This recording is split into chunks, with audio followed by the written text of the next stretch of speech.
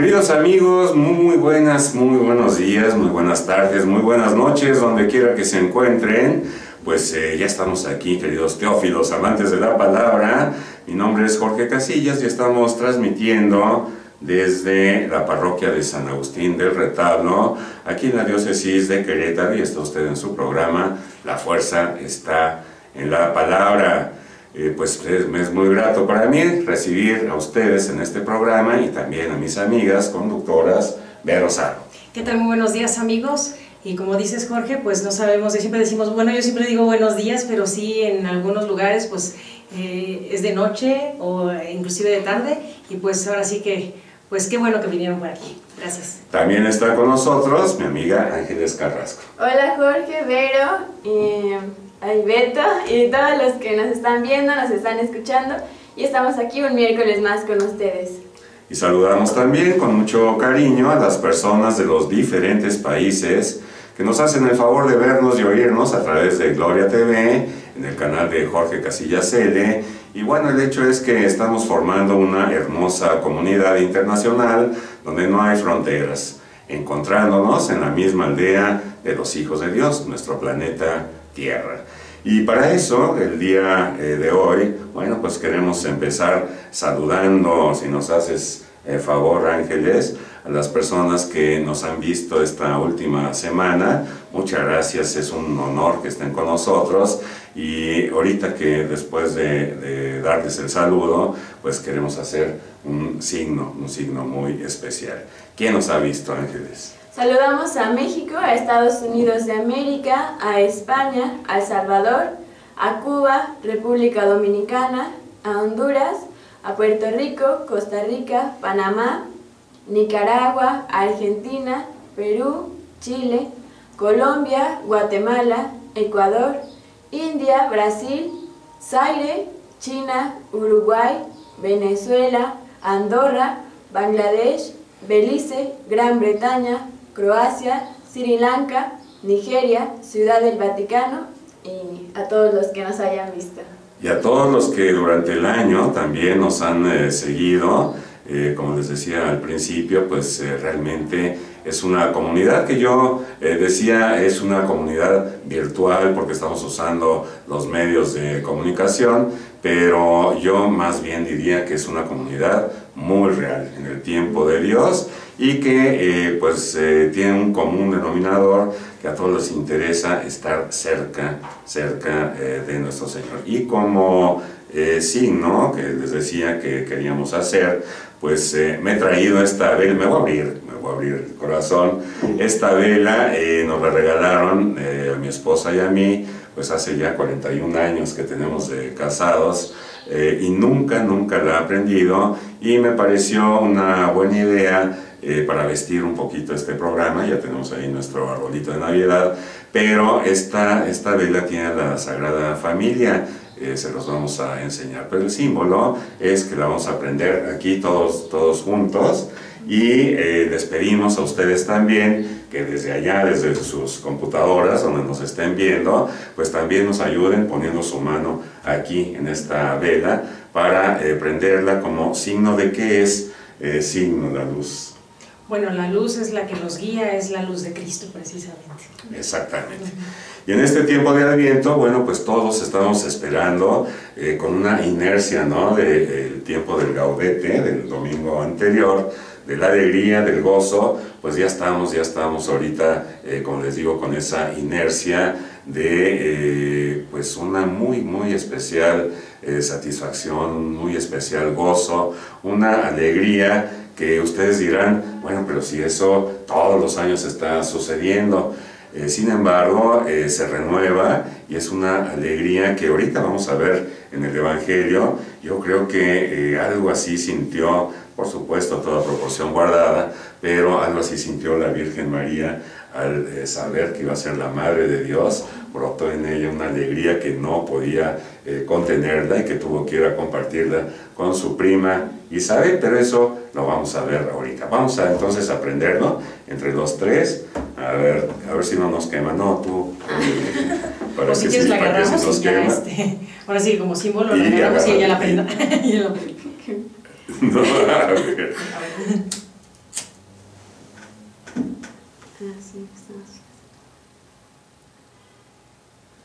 Ahí está.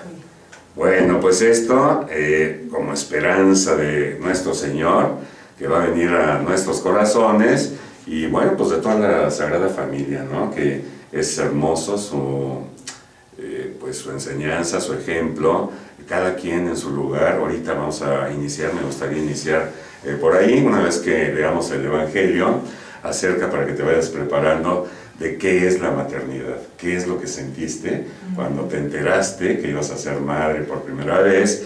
Y bueno, pues nosotros los hombres solamente nos lo podemos imaginar y yo creo que nos quedamos muy lejos, ¿no? Sin embargo, también hay una figura ahí que en el contexto eh, me gustaría tomar, que es eh, la de Zacarías, el papá de San Juan, también qué fue lo que sintió, qué fue lo que pasó por su mente eh, de ser papá. Entonces, si nos permiten y si no tienen otra cosa que hacer, pues qué tal que empecemos escuchando el Evangelio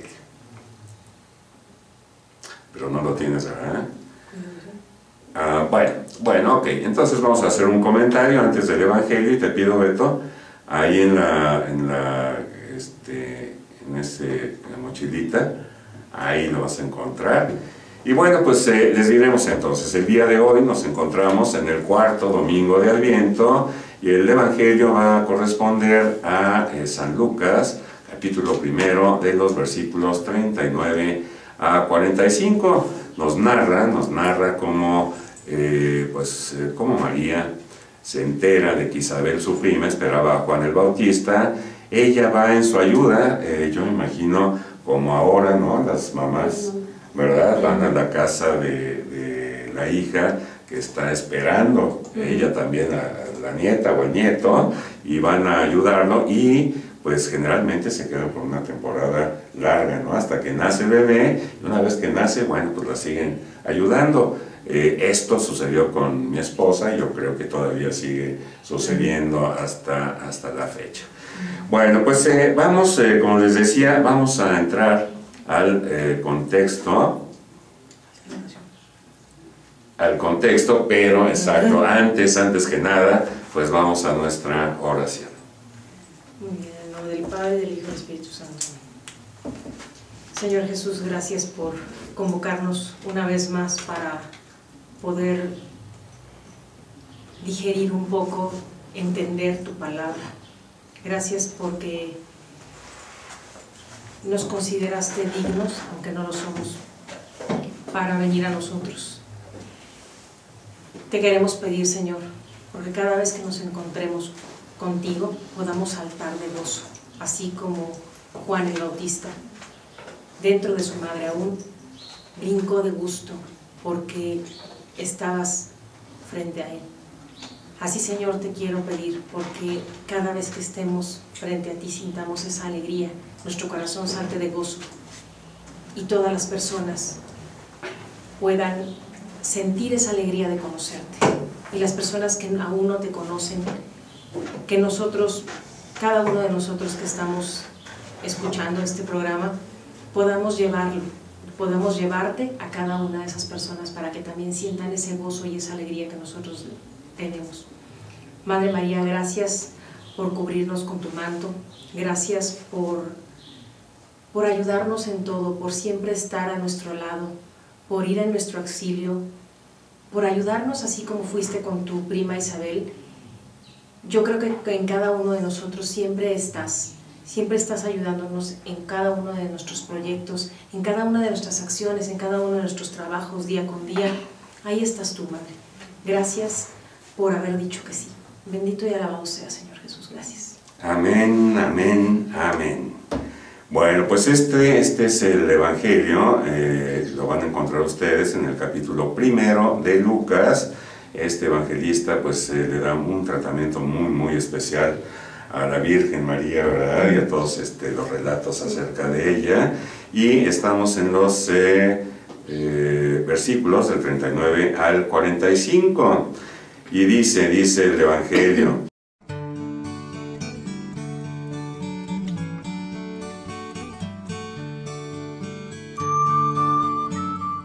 En aquellos días María se encaminó presurosa a un pueblo de las montañas de Judea, y entrando en la casa de Zacarías, saludó a Isabel.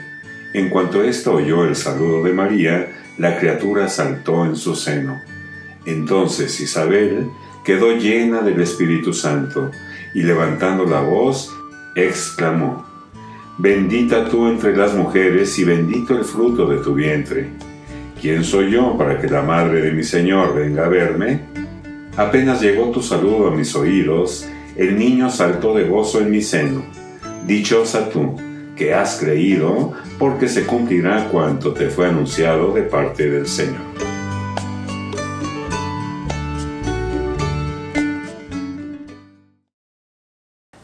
Bueno, pues eh, muy, muy, muy cortito, ¿verdad? Pero lleno de, signos y de símbolos eh, teológicos eh, que, bueno, vamos a comenzar para irnos en orden eh, con el contexto, con el contexto de todo esto, y voy a tomar mi Biblia, mi Biblia es eh, la de Jerusalén, que es muy buena y muy recomendada para estudiar, y me voy a ir al libro de Lucas, y les voy a pedir a Ángeles si nos puede leer pues esto, el anuncio del nacimiento de Juan el Bautista que es la escena o el relato este, eh, que, sucedió eh, antes, antes, exactamente antes de la anunciación. Hubo en los días de Herodes, rey de Judea, un sacerdote llamado Zacarías, del grupo de Abías, casado con una mujer descendiente de Aarón, que se llamaba Isabel. Los dos eran justos ante Dios y caminaban sin tacha en todos los mandamientos y preceptos del Señor. No tenían hijos porque Isabel era estéril y los dos de avanzada edad. Sucedió que mientras oficiaba delante de Dios en el grupo de su turno, le tocó en suerte, según el uso de servicio sacerdotal, entrar en el santuario del Señor para quemar el incienso. Toda la multitud del pueblo estaba fuera en oración, a la hora del incienso. Se le apareció el ángel del Señor de pie a la derecha del altar del incienso. Al verle Zacarías, se sobresaltó y el temor se apoderó de él. El ángel le dijo, No temas, Zacarías, porque tu petición ha sido escuchada. Isabel, tu mujer, te dará un hijo, a quien pondrás por nombre Juan. Será para ti gozo y alegría, y muchos se gozarán en su nacimiento, porque será grande ante el Señor. No beberá vino ni licor. Estará lleno del Espíritu Santo, ya desde el seno de su madre y convertirá al Señor su Dios a muchos de los hijos de Israel, e irá delante de él con el espíritu y el poder de Elías. Y ahora te voy a pedir que nos saltemos al momento de la anunciación. Al sexto mes envió Dios el ángel Gabriel a una ciudad de Galilea llamada Nazaret, a una virgen desposada con un hombre llamado José, de la casa de David. El nombre de la virgen era María y entrando le dijo, Alégrate, llena de gracia, el Señor está contigo. Ella se conturbó por estas palabras y se preguntaba qué significaría aquel saludo. El ángel le dijo, No temas, María, porque has hallado gracia delante de Dios. Vas a concebir en el seno y vas a dar a luz un hijo, a quien pondrás por nombre Jesús. Él será grande, se le llamará Hijo del Altísimo, y el Señor Dios le dará el trono de David, su padre. Reinará sobre la casa de Jacob por los siglos, y su reino no tendrá fin. María respondió al ángel, ¿Cómo será esto, puesto que no conozco varón? El ángel le respondió, El Espíritu Santo vendrá sobre ti, y el poder del Altísimo te cubrirá con su sombra. Por eso el que ha de nacer será santo y se le llamará Hijo de Dios. Bueno, pues ahí tenemos el, contexto preciosísimo, inmediatamente después de esto que les acaba de leer Ángeles, pues viene este, este momento del Evangelio del próximo eh, domingo, que será ya el cuarto domingo de Adviento, ya el último antes de Navidad, y eh, pues hay varias cosas importantes ¿no? en esta anunciación de Juan el Bautista y también anunciación de Jesús. A mí me llama muchísimo la atención cómo quedó lleno desde ese momento del Espíritu Santo, ¿no? Este, María y eh, bueno, hay dos cosas, aquí hay dos eh, diferencias. Eh, con Zacarías le pidió un signo, ¿verdad? ¿Cómo será esto si mi esposa ya es vieja, yo también ya soy anciano, además es estéril, ¿cómo será esto? Pero la diferencia es que dudó.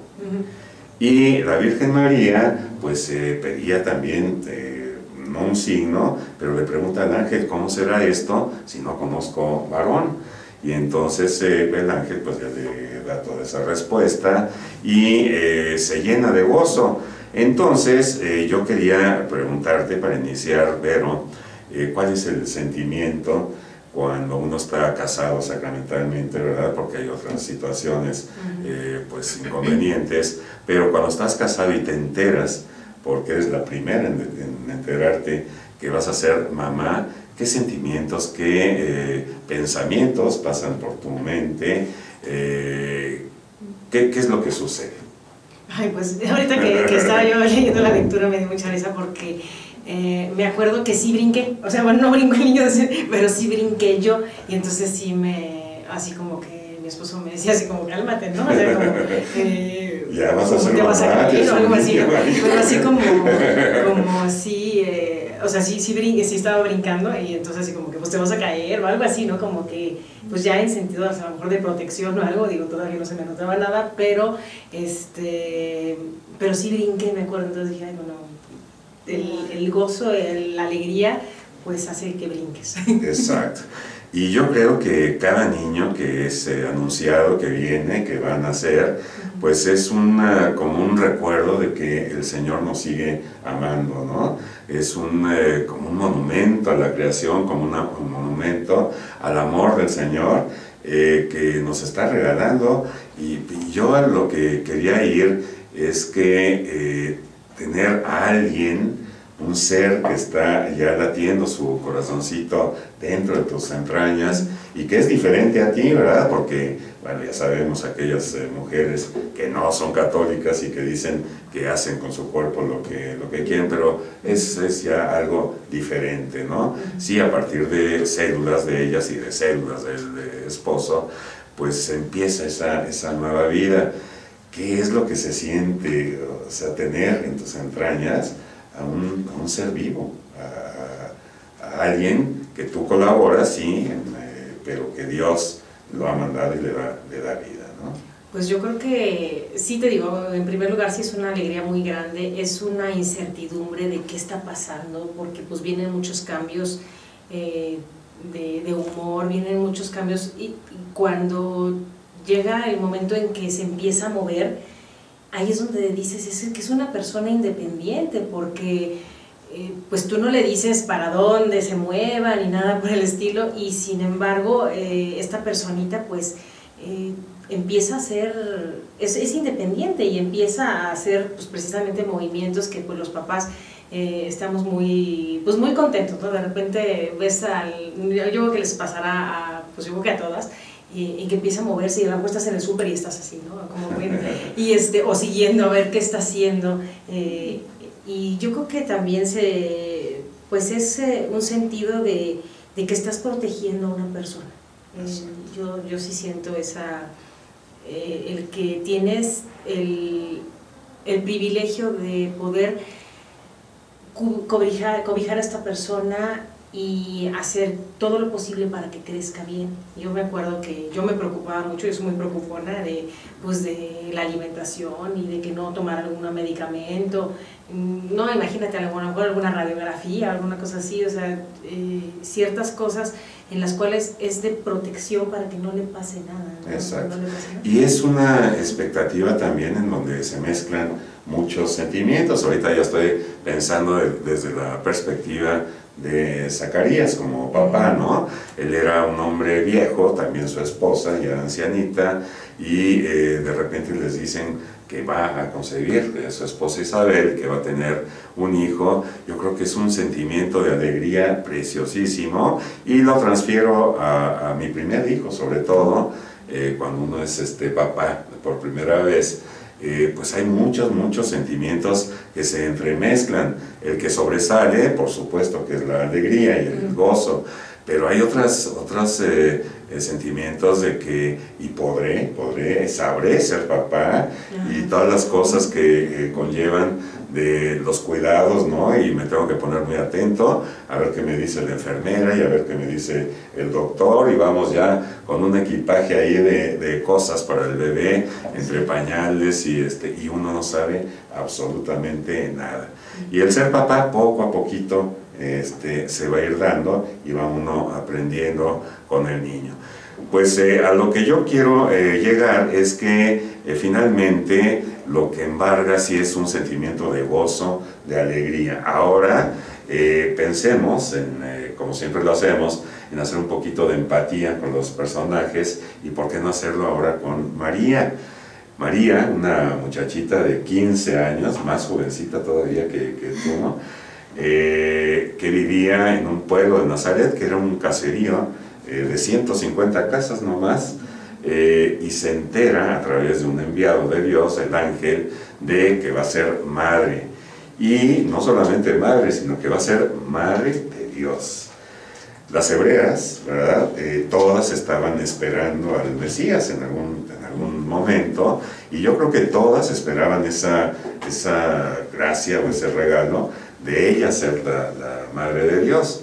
Entonces sucede que eh, a María es a quien le anuncian. ¿Cómo sería la alegría de ella? Eh, pues la sorpresa también, la expectación. Y bueno, yo me estaba imaginando también a esta muchachita de 15 años, inmediatamente cuando uno piensa en la Virgen, pues obviamente piensa en la dulzura de una madre eh, tan chiquita, en su devoción, en su actitud de, respeto a nuestro Señor, como lo hacían todos los hebreos, y, más allá de eso, en su determinación de, eh, carácter y de voluntad, porque ella decide, eh, sabiendo todas las implicaciones, eh, podrían haberla apedreado, podrían haberla matado, porque ella no entendía, no entendía muy bien. Sin embargo, esa determinación de carácter, carácter, pues, ¿cómo diré? Fuerte o ¿cómo diré? Eh, seguro, yo creo. Seguro, sí, sí, sí, sí. Que ella determina, voy a llevar a cabo la misión que el Señor me está dando. Y eh, una vez que la enteran, que le entera el ángel Gabriel, pues también le entera una segunda, le da una segunda noticia que su prima Isabel pues también está esperando a un niño y que ese niño será grande delante, delante de Dios y que ya desde, desde ese momento estaba lleno del Espíritu Santo. Entonces, esa primera eh, instancia de María, eh, ¿cómo ves tú, Ángeles, esa combinación de madre, de jovencita, de dulzura, de fortaleza, de decisión, eh, pues de todo lo que, lo que necesitaba la Madre de Dios para ser la Madre de Dios. Y yo siempre que me acuerdo de María, eh, le digo gracias María por haber cuidado tan bien a nuestro Dios. Ay, pues como que realmente me siento un poco distante porque pues yo no he vivido lo que vivieron ni lo que vives tú, ¿no? En ese sentido. No, pero te voy a poner, te voy a poner en contexto, por eso te dirijo la pregunta a ti. Suponte, no eres, no eres mamá, desde luego, pero eh, que viene el ángel y te dice a ti que vas a ser madre ser la Madre de Dios? Yo pienso que poniéndome un poco en los zapatos de María, no, no tal cual, sino en su pensamiento, yo pienso que es sorpresa, ¿no? Decir, yo nunca lo esperé, o sea, como su voto de virginidad y decir, ah, yo creo que era, la, o sea, alguien que era mamá, es decir, obviamente era una alegría, pero pues en cierta manera ya había una predisposición, porque todas esperaban, ¿no? Decir, ¿qué tal que me toca a mí y voy a hacer lo posible? Y ella, pues, yo pienso que jamás pasó por su mente decir yo, o sea, mm, nunca, nunca esperó, pues, ser mamá, ¿no? A lo mejor en deseo sí, pero pues tomó la determinación de no junto con José. Y también, aparte de sorpresa, pues, el decir, mm, yo no pienso que haya estado un poco, que es como humana, que no hubiera sentido miedo de, decir, de decirle a José, oye, está pasando esto, ¿no? Y tal vez sí se determinó, pero pues humanamente yo pienso que sí decir eh, cómo me van a ver las demás personas, José, o sea, decir, esto es una seguridad de que viene de Dios, pero pues no era así como que todas las personas, ay, sí, pues vino Dios, ¿no? O sea, mm, esa es mi forma de pensar. Sí, como, loquita, como, como tú, si ante todos los ojos ya, ya, habías hecho un voto, y hasta de ver mal a la persona, ¿no? Mm, ver mal a María. Pero pues también decir, uh, como que yo pienso que nunca como mujer se le quitó el deseo de ser mamá, y pues eso también era una alegría.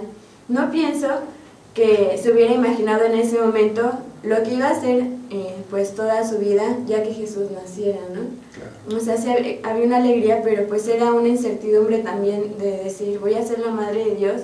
También yo pienso que si era, pues, como es, como dicen, ¿no? La madre humilde, pues ni siquiera yo pienso que se sentía digna de serlo, pero también el padre Wences decía la otra vez que muchas veces ponemos a María como alguien así como, ah, eh, como muy retraída o como muy apagada, no sé, como que hay la, la Virgen, ¿no? Pero es una persona humilde, es alguien que también reconoce quién es y se determina por algo, ¿no? No le importa. Y ahorita se me venía a la mente también eso, ¿no? Como que eh, a lo mejor a nuestros ojos humanos ni siquiera podemos imaginar eh, lo, quién era María, ¿no? Quién era en ese momento a pesar de ser pequeña y que por algo le escogió Dios, ¿no? Eh, y sí, como, como muchas veces pasa con, con planes, pues obviamente más inferior, más a una relación muy, muy diferente, muy relación eh, con la distancia guardada, muchas veces los planes de Dios nos pueden sorprender y nunca Dios nos revela el final de la historia, ¿no? Entonces, pues también decir, María nunca se pudo imaginar, pero nunca ah, como que pienso que pudo haber, haber pensado lo que iba a venir después, como que pues obviamente no se imaginaba la cruz y todo eso, porque eso fue algo que, que se reveló, que Jesús le fue revelando después a sus discípulos que iba a padecer todo, pero María fue una mamá común y corriente, ¿no? Es decir, le enseñó a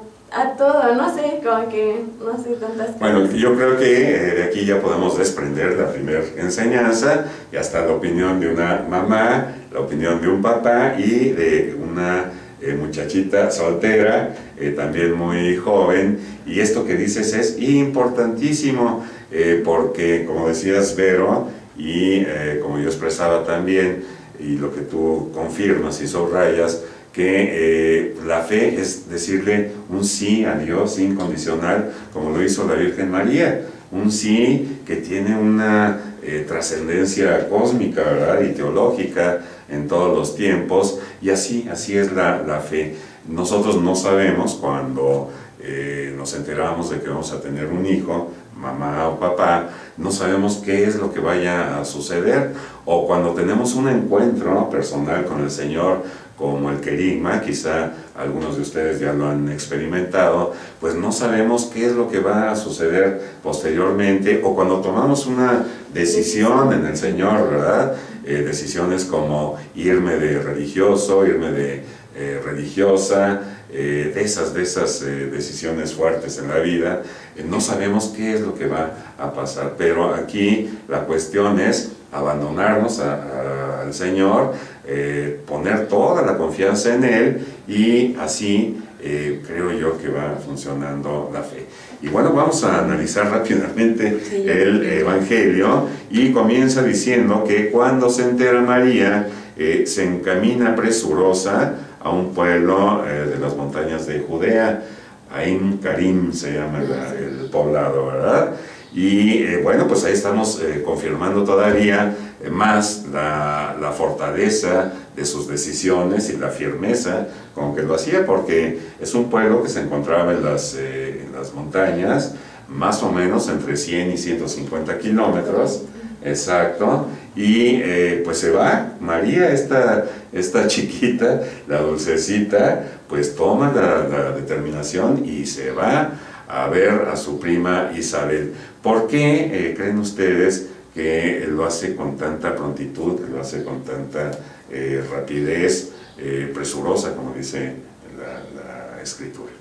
Pues yo creo que pensando realmente en que su prima ya estaba grande, eh, que puede tener más riesgos, que necesita una ayuda pronta, entonces el, pues yo creo que en ese momento de, de enterarse, dice, no, pues yo voy, yo voy inmediatamente, dejo todo y voy inmediatamente pues para ver qué se le ofrece, porque es grande, no vaya a perder al bebé o alguna cosa así, de que, porque en esa época cuántas mujeres también morían de parto, porque, y más, y pues a lo mejor era una persona grande, es mucho más riesgo.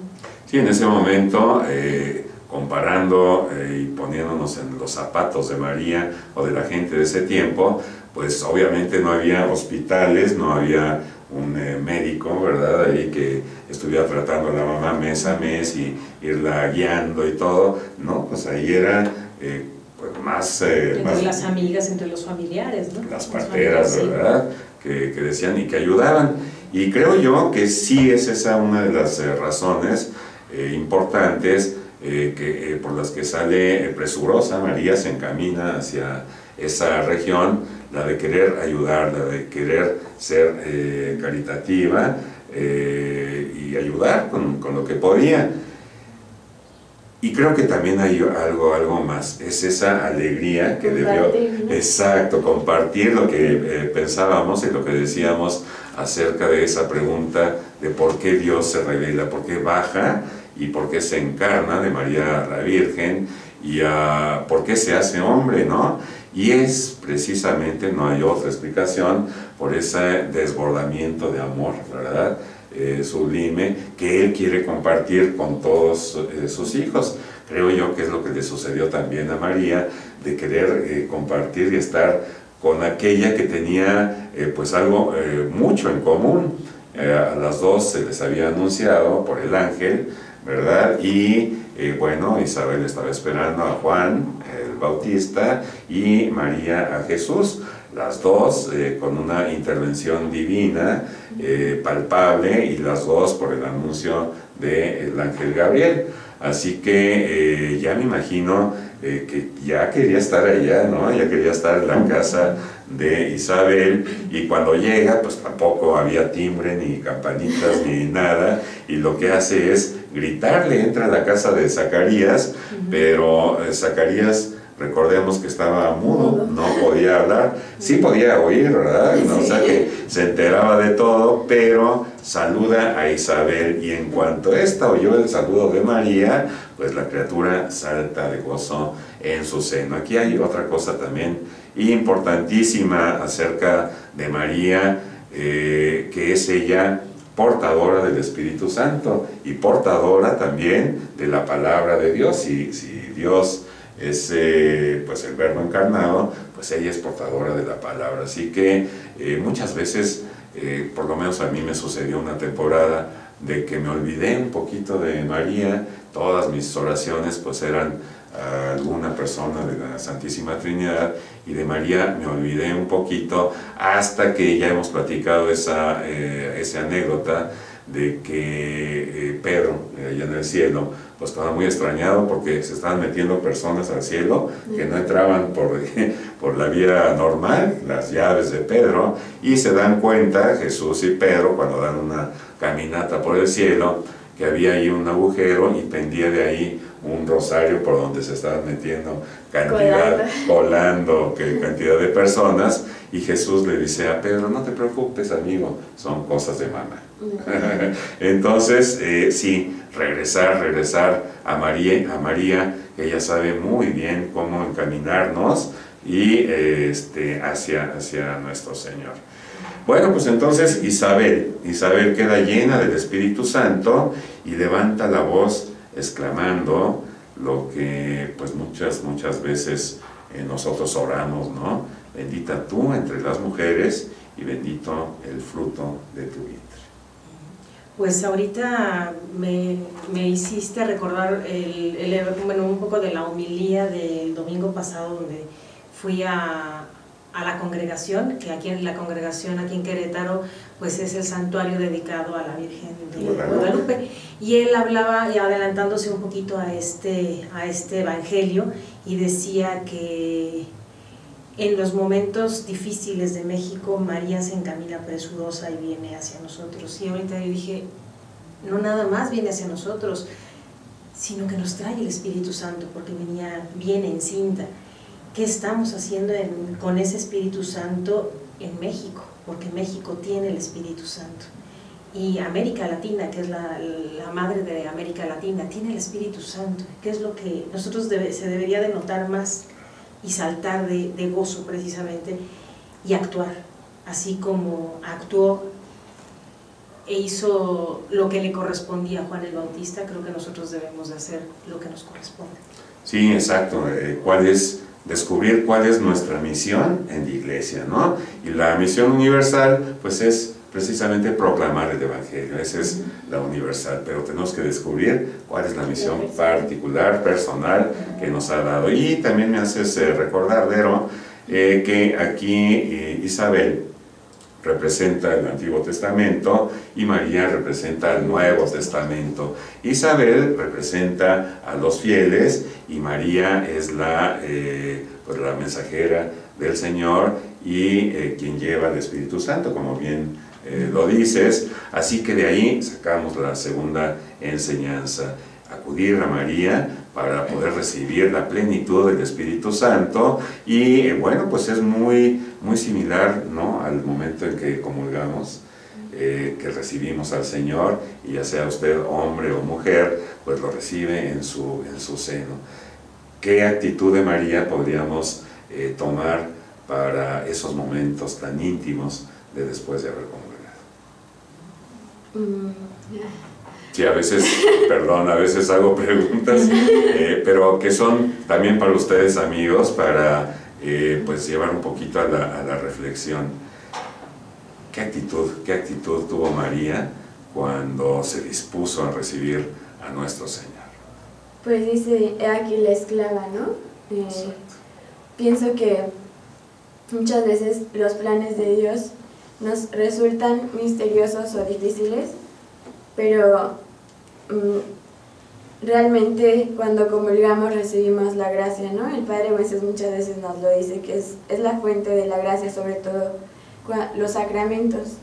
Y entonces, aunque humanamente sea difícil, cuando Jesús está dentro de nosotros, sabemos que siempre está en nuestro corazón, siempre está habitando en nuestra alma, pero cuando recibimos como más la gracia que vuelve a, reafirmar eh, su vida en nosotros, Mm, los planes de Dios se pueden hacer más fáciles, no porque nosotros eh, podamos, sino porque el bien pues brota de Dios. Y entre más tomemos de, de esa agua de la gracia, pues más dóciles podemos ser y más podemos reconocer que el bien no brota de nuestras propias manos, sino que Dios eh, es la ayuda y Él es el que está obrando y, y, somos más capaces, entre comillas, porque pues no es algo de nosotros, pero somos más capaces para poder aceptar, eh, no con resignación, sino